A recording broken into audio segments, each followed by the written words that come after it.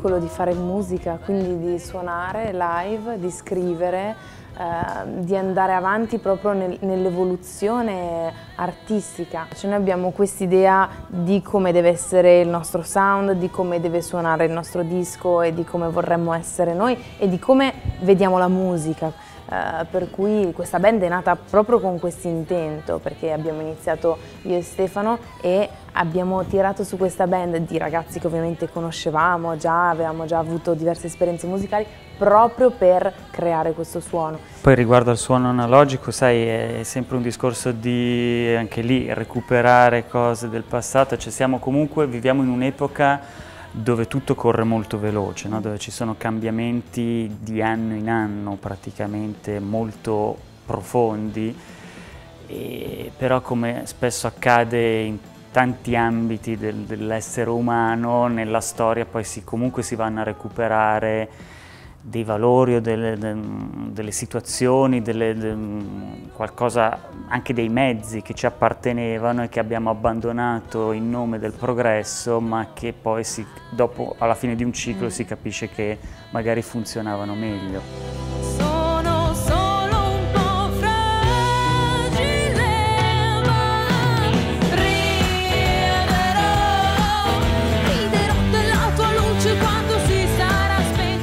Disco composto da 10 brani, di cui 5 finiranno in questo primo EP e 5 nel prossimo. Però, suono analogico, con la sua vendetta faremo il vinile, quindi ci sarà un lato B ehm, che abbiamo già registrato, abbiamo registrato live.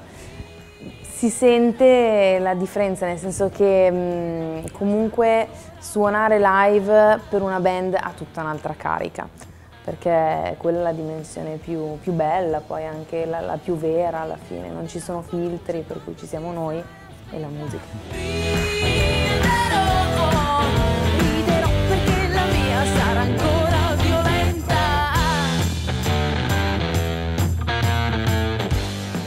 Riderò eh, parla di tutti quei no che si prendono nella vita, di tutti quei pianti che si fanno nella vita sui quali poi dopo, magari dopo anni, dopo mesi, ci si ritrova a ridere. No?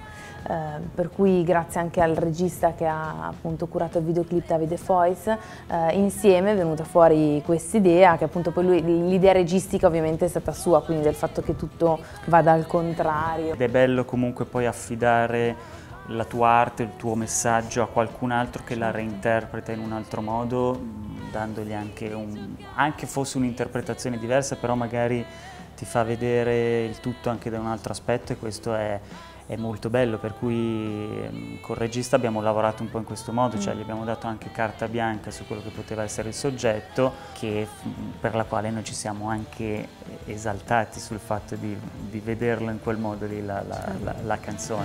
Non ho il coraggio, ma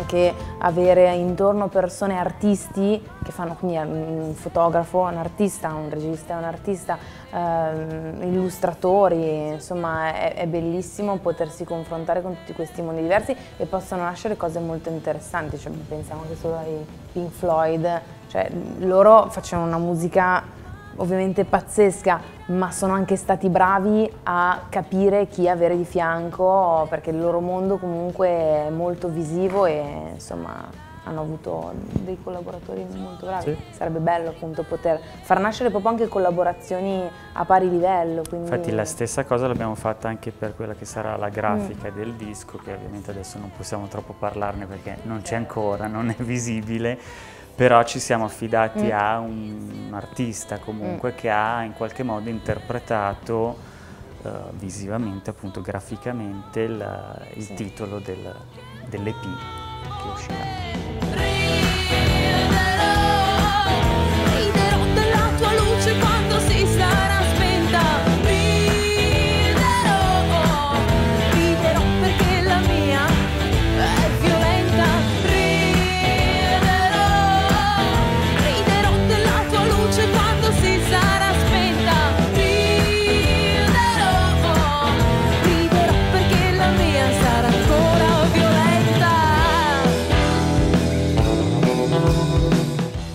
Siamo in Santa Margaret. Un saluto a TVN.